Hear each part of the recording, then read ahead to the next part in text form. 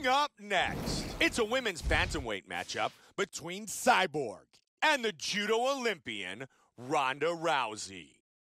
Our tale of the tape for this women's bantamweight battle. What an even matchup. Everything between these two fighters tonight is virtually identical. And with the official introductions, here's Bruce Buffer.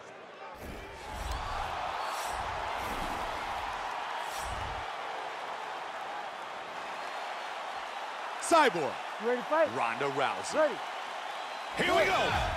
Fight scheduled for three five-minute rounds. White trunks for Rousey, black trunks for Cyborg.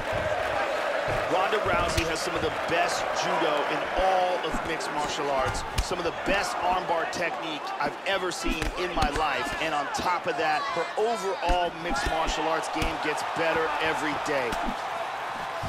Another good stroke. Excellent uppercut, Mike. Good defense and a right hook countered by Rousey. She's really defending well, especially against the head strikes. She's keeping her hands in perfect position. Oh, solid jab. Nice block of that headshot. That's a solid straight. And she blocks another strike. Great defense. Again. Standing and trading. Exactly what we had hoped for.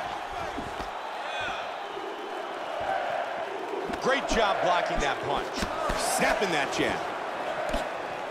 Nice strike. Solid straight. Good slip of that punch. Joshi, look at that! Oh, my! Oh! And it is all over! That's it! She had been throwing that uppercut all night long, but this one lands absolutely perfectly and leads to a knockout victory. Once again, here's our fight replay. Let's take one more look at the end of this fight. Here is a huge uppercut, and that is the end. We can see it from another angle here. Here is the huge uppercut that lands right on the money and ends this fight. Great angle here. Boom! Wow! Here's Bruce Buffer. Ladies and gentlemen, referee Herb Dean has called a stop to this contest at 2 minutes, 8 seconds of the very first round. Declaring the winner by knockout, Cris Cyborg! Cyborg wins by knockout.